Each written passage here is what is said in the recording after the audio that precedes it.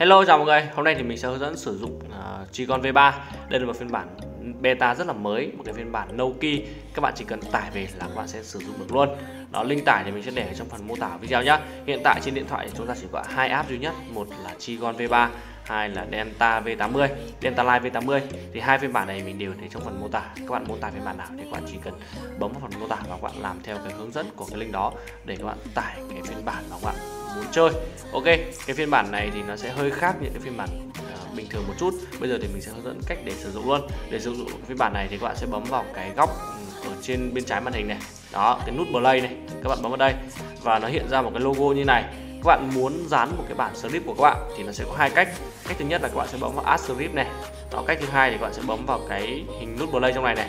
Đây, các bạn làm theo cái chuột này của mình nhá. Các bạn bấm vào đây. Và tại đây thì các bạn dán cho mình cái bản script mà các bạn muốn sử dụng. Mình sẽ xóa bỏ hết cái dòng này nhá. Đó, mình sẽ xóa bỏ hết cái dòng này đi và mình sẽ dán cái bản script vào đây. Các bạn thấy chút mình đã chuẩn bị sẵn một cái bản script rồi. Cái bản script này thì mình sẽ để trong phần mô tả video. Và sau khi các bạn dán xong thì các bạn sẽ bấm Xcode cho mình. Thì ngay lập tức nó sẽ mở cái phiên bản này lên. Cái phiên bản này nó rất là nhẹ nhá, mình cảm thấy nó rất là mượt. Mình thấy nó mượt hơn Delta rất là nhiều. Và cái cái ưu điểm của nó là nó không bị văng. Các bạn chơi các bạn sử dụng sẽ không bị văng nhá.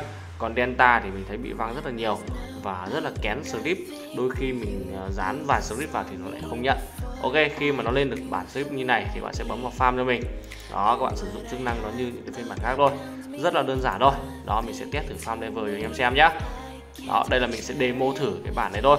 Còn các bạn muốn sử dụng bản nào thì các bạn chỉ cần uh, làm tương tự như cái video này của mình thôi. Các bạn dán đúng cái bản script vào và các bạn mở lên là nó sẽ chạy được. Đó hiện tại thì cái phiên bản này nó chưa có phiên bản live nhá đây là phiên bản gốc của nó phiên bản gốc của nó thì tầm khoảng 180 m nói chung là 180 m thì cũng không có gì là nặng. Mình sử dụng cái điện thoại của mình thì mình thấy nó cũng farm rất là ok. Đó bình thường thì nếu như phiên bản à, uh, Flusu mà bản gốc ạ 180 m thì mình farm rất là giật lát. Hoặc là Delta cũng vậy. Delta mình farm cũng rất là giật lát. Nhưng mà phiên bản Trigon này mình farm cái cảm nhận cá nhân của mình thì mình farm mình thấy rất là ok. Không bị uh, giật lát. Và đặc biệt là không bị văng ok nhá, đến bước này thì tất cả các bạn đều biết cách sử dụng cái phiên bản Trigon V3 này.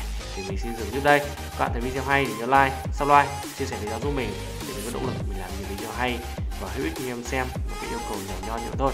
Bây giờ thì ok, bye, chào mọi người.